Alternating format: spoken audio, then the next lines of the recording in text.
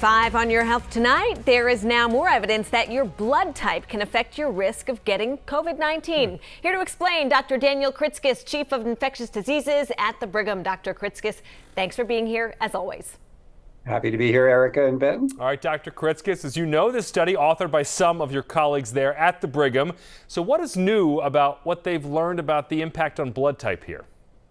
So we've known from genetic studies that people who have blood type A are more likely to get COVID-19 and more likely to have severe COVID-19 than people with other blood types. And people with blood type O the commonest blood type are less likely to do so. What this study did was to find out what the mechanism is. You know, people with different blood types express different kinds of molecules on their cells, and they trick these uh, laboratory cells into expressing the uh, uh, molecules that are present in different blood groups and showed that cells that expressed the molecules for blood group A were much more easily infected with SARS-CoV-2, the virus that causes COVID-19, compared to cells cells expressing other blood type antigens. And so that's very interesting.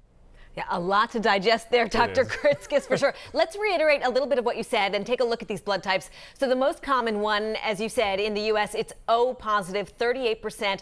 The second, A positive, 33%. It drops dramatically from there. So based on this new research, again, uh, which groups appear to have the highest risk for COVID infection? So people with group A are, are, the ones who are at highest risk for uh, uh, becoming infected with COVID and having severe COVID. Hmm. And it doesn't matter if it's A positive or A negative, correct? It does not, because that's a completely different set of, uh, of molecules on the cell. Yeah. All right. So some of our viewers may not know what their blood type is. We are just talking about this in the studio. I think I'm O positive. She's forgotten. uh, Jenna, our floor director, is O negative. So we, I guess, two out of three isn't know. bad. But in your opinion, how important is it to know what blood type you are? Um, and and is it important to know yeah. this new info if you're in a higher risk uh, for COVID? I certainly don't think it's important to know your blood type in terms of COVID because we can prevent COVID by getting vaccinated, and everybody should get vaccinated regardless of their of their blood type. And if you get COVID, you should seek treatment for COVID again, regardless of your blood type. So it's really not that important to know. Um, many preg- people who have been pregnant be- learn their blood types because they test for blood type, and, and if you're Rh negative, you need certain kinds of uh, tests uh, treatments afterwards if you have a positive R- Rh positive baby. But that's a whole different story. Okay, so you should know your blood type. Good to know. Uh, yeah. I should figure right. it out.